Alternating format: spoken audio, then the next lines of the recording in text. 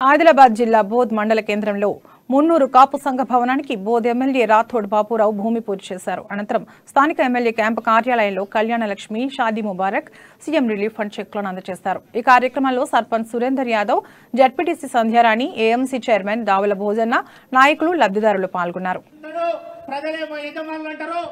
గారిని వేదికపై రావాల్సిందిగా కోరుచున్నాం.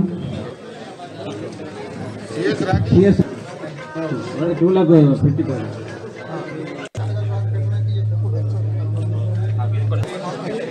sir sir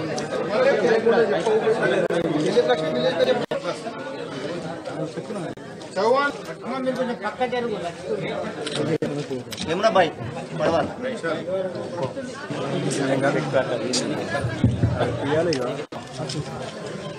नर्स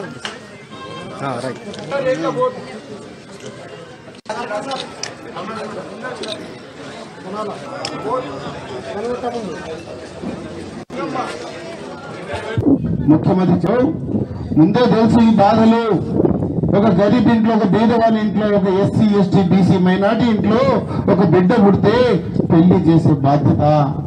ఆ కష్టాలు ఆ బాధలు ఇవన్నీ చాలా కష్టమైన పని కాబట్టి కేసీఆర్ గారు ముందే ఆలోచించిండు. ఒకవేళ తెలంగాణ రాష్ట్రం వస్తే మన తెలంగాణ రాష్ట్రంలో అభివృద్ధి చేసుకుంటూ ఎస్సీ ఎస్టీ బీసీ మైనార్టీతో పాటు ఇతర కులాల వారికి కూడా ఆర్థికంగా కొంచెం సహాయం చేద్దాం అండగా నిలబడదాం.